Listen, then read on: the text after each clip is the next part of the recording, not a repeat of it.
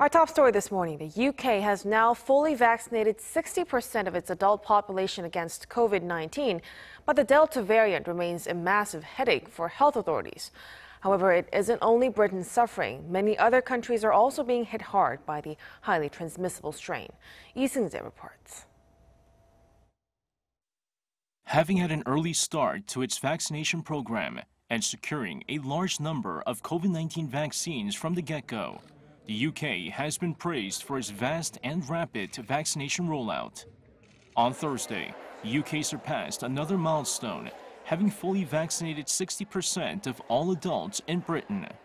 More than 31.7 million people have received both doses, while over 82% of the population have had one.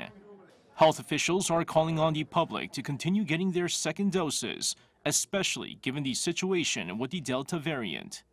With it now the dominant strain in the UK, the country reported another 16,703 new cases over the past 24 hours, up from 11,007 cases last week.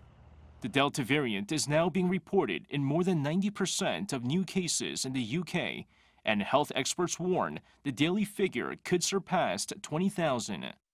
In Germany, the number of COVID 19 infections caused by the Delta variant has doubled over the past week and is likely to gain more traction.